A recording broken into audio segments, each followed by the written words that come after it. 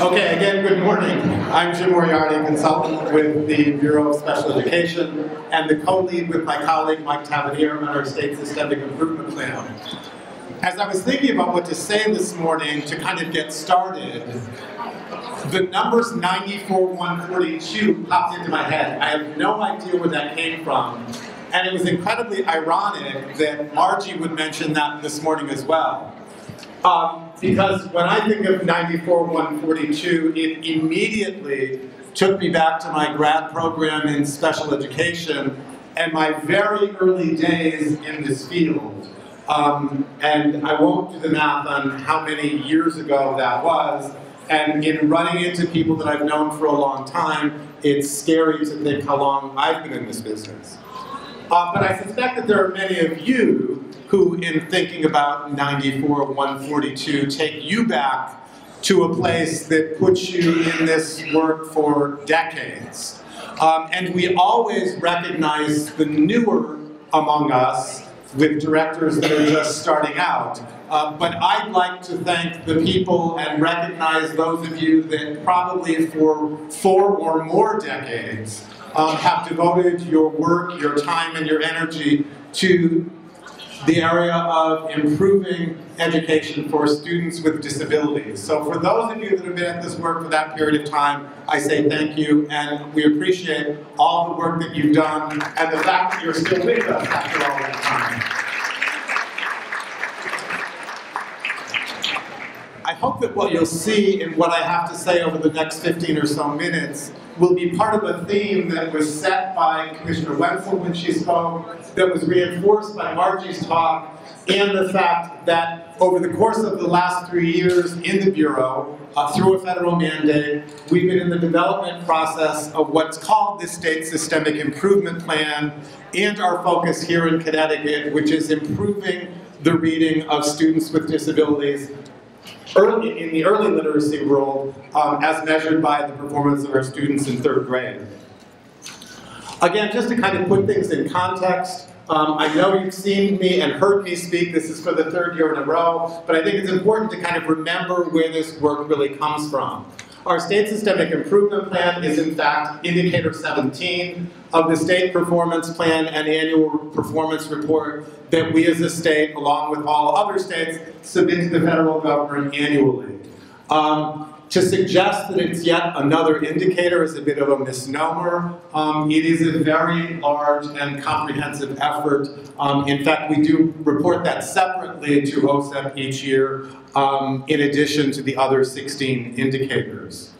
Um, I bring your attention to our state website where the information relative to our SSIP is located. Uh, we're in the development process of revising our website at the State Department. Uh, we know and understand as well as you do that it may not be the most user-friendly site currently. Um, and as I say, we're in the process of uh, revising that. And certainly we'd suggest that you refer there um, regularly, particularly as it relates to information regarding the SSIP and the resources related to early literacy that we'll be posting there as well. Uh, as I said, this is actually the third year of this process. Two years ago, um, we submitted phase one to OSEP for their approval, which looked at these five components. Um, for those of you that were here last year, you heard the presentation by Dan, Diane Murphy in our performance office, who went through the extensive data analysis that we use that brought us to our state identified measurable result for students with disabilities, our SIMR. Um, last year, um, or earlier this year rather, these were the components that we submitted to OSEP for their approval as we move forward with the ongoing development of our SSIP and in fact, in our first year of piloting this work in a handful of districts around the state, and for those of you that worked with us in our first year, uh, we thank you. We certainly use that experience not only as a means of rolling out this work of improving the performance of students with disabilities in the area of reading, but to also inform our work moving forward and to make some adjustments to where we see things going as we continue the work over the course of the next few years. Because of the fact that um, with a new state assessment, um, with some reversions in our accountability at the State Department. We did revise our state identified measure to reflect the fact that we're using the English Language Arts Performance Index that's derived from the SBAC testing that's administered each year.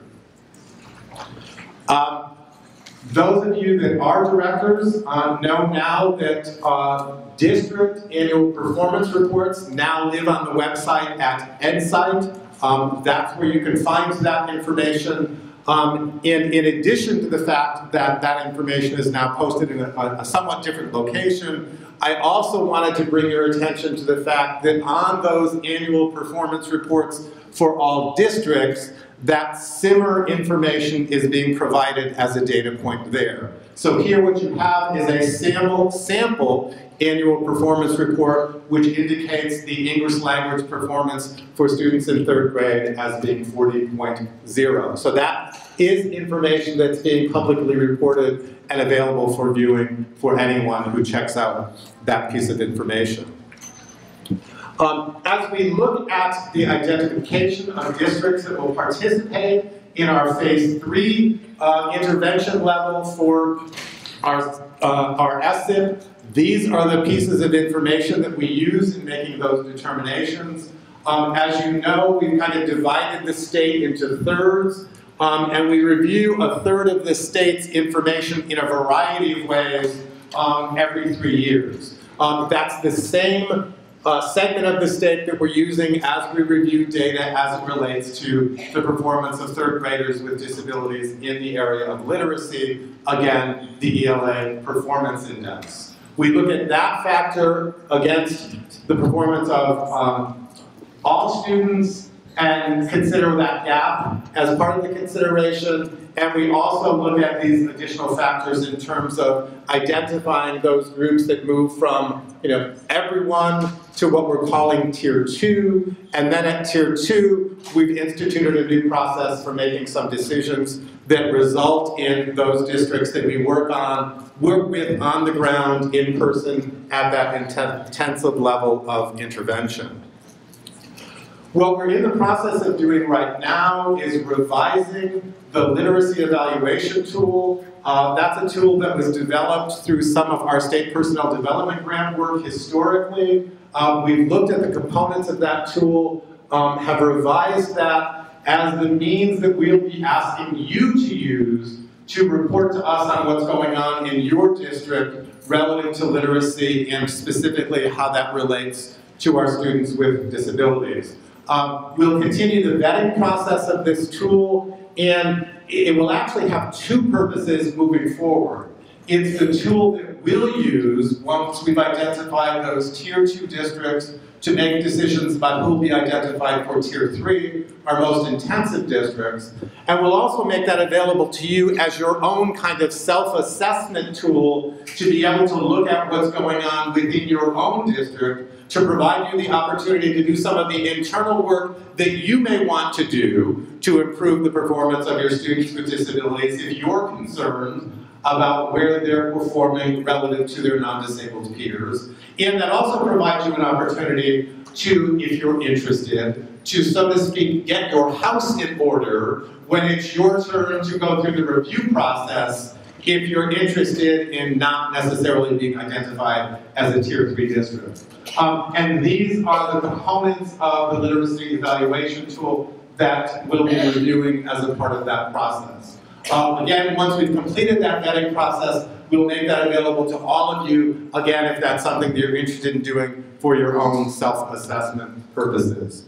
Um, and I do want to identify the piece here, and Margie had mentioned it, certainly it was the theme as we talked last year in terms of parent engagement. When we talk parent engagement relative to the SIP, we're really talking specifically about the area of literacy and really what districts are doing or what they need to do in terms of reaching out to families for a couple of purposes. One, to help parents understand who their child is as a learner related to literacy. And number two, what parents can do to support their child as a learner in the area of literacy. So when we say parent engagement here, we're not necessarily talking the large umbrella of how we interact with parents, how we engage with them in the PPT process necessarily, not suggesting that that's not important, but that's not the specific focus when we talk about parent engagement related to our SSIP efforts. Um, somehow here my slide went a little out of whack with the dates here. All of the, all of the dates should be on the right-hand column. Um, but this just kind of gives you an idea of where we are moving forward in terms of timeline. Um, our review of data, again, those English language arts, um, profile scores we'll be reviewing in the month of December, oh, I'm sorry, November, at which point we'll be identifying tier two districts and being in touch with you um, to provide you the information about that next step in the process, again, which will involve the completion of the literacy evaluation tool and the return of that to us. We suspect and we hope that that will be happening um, prior to the end of the year, end of November, potentially the beginning of December. Um, we hope to be able to identify and contact districts that will be identified for that intensive Tier 3 work in the month of December. We'll be working in districts in the winter and spring of 2017. Can't believe we're already talking about that number. Um, and then as a part of that process, which will be really looking at what's going on in the district, looking at some systemic kinds of things that may be attributing to uh, where your students are performing, and some improvement planning over the course of that winter, spring, that will then be followed up the following year with professional learning and technical assistance activities that we will customize based on the work that we're doing in district in terms of identifying what those specific areas of need may be. As we look at developing district plans, these are the five components that, um, one, two, six components um, that we've included in our SSIP uh, document. Uh, the four in red are those that we're focusing on specifically. Um, I'm sorry, the, those in blue are the ones that we're focusing on specifically. And I think what you'll see in these three blue areas is exactly what Margie had talked about earlier on. What we're really looking at specifically, and certainly some of the work that we've done in districts over the course of the last year helped us to sort of move more in a more focused way to these three particular areas because these were the things that seemed to stand out most significant, significantly. Certainly as we look at that process of data analysis, that includes things like the kinds of assessments that are being used and the information that's being derived from those assessments. And potentially in some instances, it may be getting rid of some, replacing some, and being a little bit more strategic perhaps in terms of what that uh, assessment process looks at, looks like both from the universal screening stage down to that kind of diagnostic work that Margie was talking about. Uh, certainly we understand, um, and that was kind of the piece that was underscored both in Dr. Rodriguez's remarks, in Commissioner Wentzell's remarks, is that this is not work that we can do alone. Um, that this is work that's bigger than special education.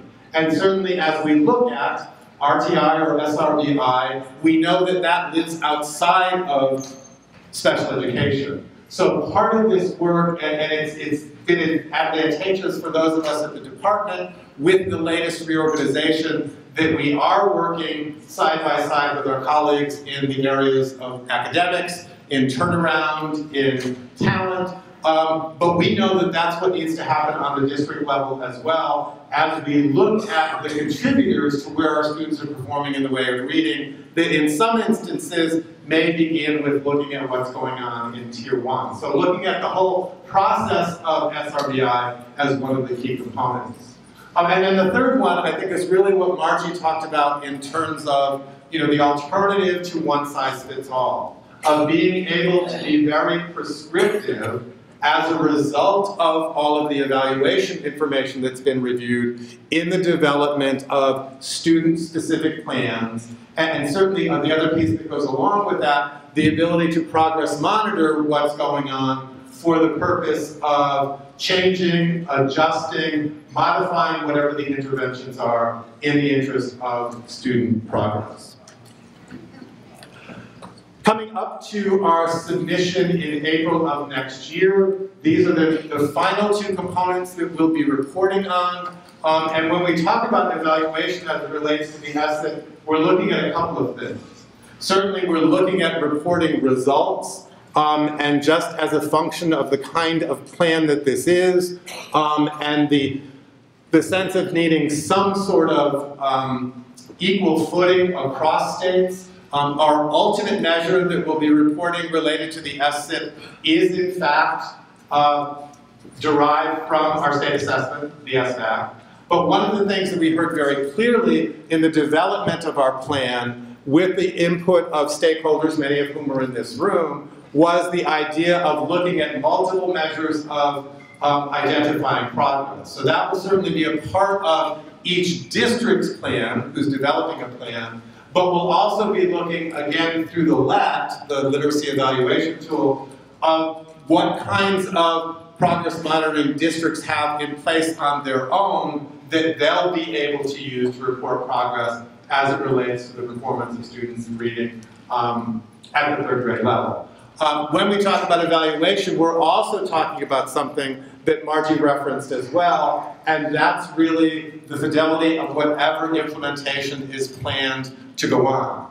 So that we're really looking at multiple levels of evaluation, that it's simply not the numbers piece of things, but being able to say, if in fact we've developed a plan, if in fact we've adopted this approach to address where we are with regard to the performance of our students with disabilities in the area of reading, are we in fact holding to what we said we would do, and are we doing it according to the plan that we developed in the first place? Um, so that's you know, ongoing work for us, but that certainly will be a part of the work that we're doing in districts as well. Um, I provided here some contact information. Uh, we'll continue to uh, distribute information through our Bureau bulletin. As I say, we are in the process of developing a resource library that will be available on the website. Um, one of the breakout uh, sessions this afternoon, my colleague Joanne White and I from the academic office will be talking about some of the resources that are already available in place. Uh, we look forward to our continued work with all of you, your cooperation in this incredible effort um, that really can mean nothing but good for our students. Um, we thank you for all that you've done to bring us to this point. Look forward to the ongoing work, and thank you very much for that.